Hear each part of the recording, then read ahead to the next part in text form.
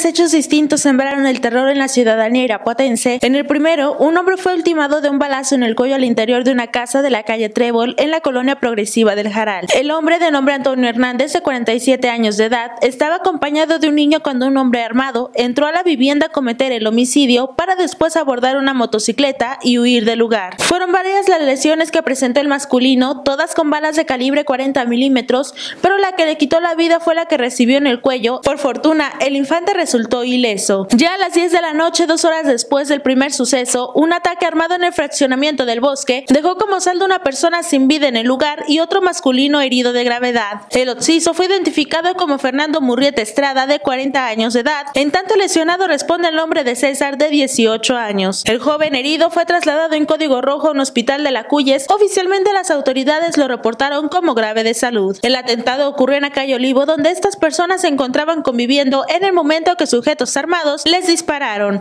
En el lugar de los hechos, los policías preventivos fijaron casquillos percutidos, pero se ignora hasta el momento el móvil del atentado. Ya para finalizar, en la madrugada del miércoles, un hombre fue ejecutado a balazos en Colonia San Martín de Porres. Fue justo en la esquina en las calles San José de Santa Mónica, donde sujetos armados terminaron con la existencia de la víctima. El cuerpo del infortunado sujeto quedó boca abajo a unos metros de una camioneta, la cual presentó perforaciones por las balas.